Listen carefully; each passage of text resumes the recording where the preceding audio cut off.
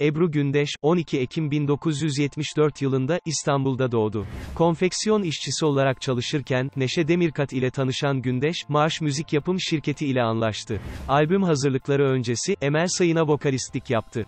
Şarkıcı henüz 16 yaşındayken, Hamdi Vardar ile ilk evliliğini gerçekleştirdi. 2002 yılında, avukat Ömer Durak ile ikinci evliliğini yapan Gündeş, 2010 yılında iş insanı Reza Zarrab ile dünya evine girdi ve kızı Alara'yı dünyaya getirdi.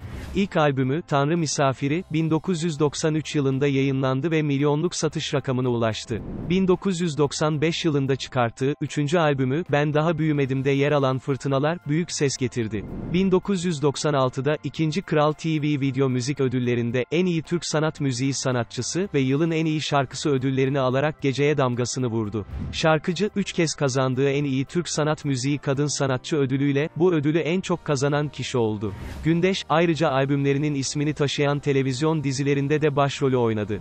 1999 yılında, Dön Ne Olur adlı albümünün stüdyo tanıtımı sırasında, basın mensupları önünde beyin kanaması geçiren şarkıcı, sahnelerden uzaklaşmak zorunda kaldı. Uzun süreli bir dinlenme döneminin ardından, 2000 yılında gerçekleştirdiği konserin, tüm gelirini Haydarpaşa Numune Eğitim ve Araştırma Vakfı Hastanesi Reanimasyon Kliniğine bağışladı. Günümüzde O Ses Türkiye adlı yarışma programında jürilik yapan Gündeş, bir 60 boyunda.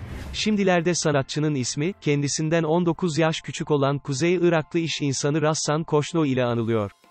Kanalımıza abone olmayı ve videolarımızı beğenmeyi unutmayın. Kimsin Sende görmek istediğiniz isimleri yorumlara yazın.